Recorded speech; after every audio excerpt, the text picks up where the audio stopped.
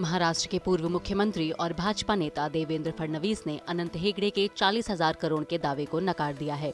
फडणवीस ने कहा कि सीएम पद पर रहते हुए उन्होंने ऐसा कोई फैसला नहीं किया था। साथ ही उन्होंने कहा कि जो वर्तमान सरकार है, वो इसकी जाँच करके इसकी सच्चाई जनता के सामने लाए। दूसरी तरफ़ अनंत के इस बयान के बाद शिवसेना नेता संजय राउत ने कहा कि ये महाराष्ट्र के साथ गद्दारी है। दरअसल अनंत हेगड़े ने दावा किया था कि फडणवीस ने सीएम रहते हुए केंद्र को चालीस हज़ार करोड़ रुपए वापस किए थे।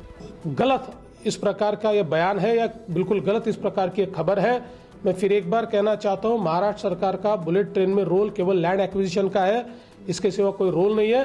और बुलेट ट्रेन नहीं तो किसी भी मियाद से एक नया पैसा भी महाराष्ट्र सरकार ने, केंद्र सरकार को वापस नहीं किया है।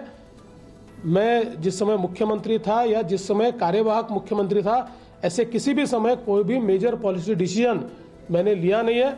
और इसलिए मुझे लगता है कि ये बिल्कुल गलत बयानबाजी है। इसको सीरियस से मैं नकारता हूँ।